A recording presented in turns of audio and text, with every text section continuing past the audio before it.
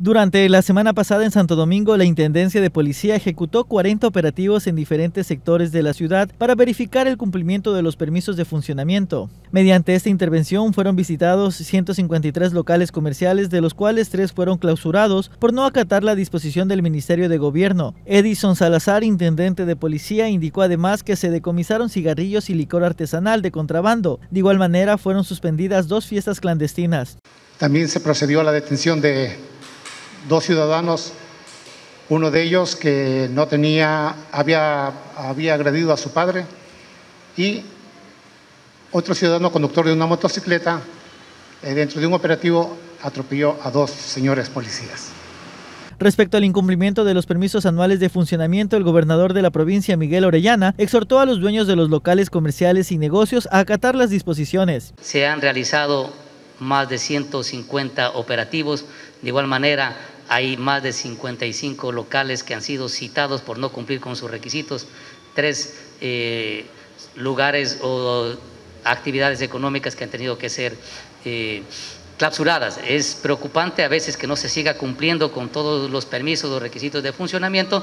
La policía también ejecutó importantes operativos antidelincuenciales en la última semana, dando como resultado la detención de 13 personas por varios delitos, además el rescate de una persona secuestrada y de apoyar en el traslado de valores. Ante problemas de sacapintas, Luis Obando, jefe de la subzona de policía de Santo Domingo de los Áchilas, exhortó a los dirigentes barriales a apoyar desde sus territorios al fortalecimiento de la seguridad. Estamos en operaciones básicas de inteligencia trabajando en la noche para desarticular esas bandas, pero necesitamos la colaboración de la ciudadanía, necesitamos que nos ayude con información, en romper esos esquemas de los medios de comunicación, no simplemente sean los transmisores de la noticia, sino al contrario, nos ayudan a romper este esquema en ser también unos vectores, en transmitir canales de seguridad. Por su parte, el batallón Montúfar continúa con los operativos de seguridad en áreas estratégicas para el control de la delincuencia.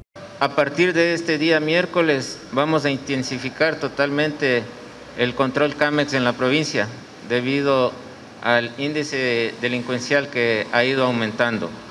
Además, se está coordinando eh, con el comando conjunto, para el igual que, con la, que ya lo realizó la provincia del Guayas, Manabí y Los Ríos la semana pasada, hacer un CAMEX intensificado. La intención de estos operativos de forma conjunta con la policía y las Fuerzas Armadas es reducir los actos delictivos en territorio Sáchila.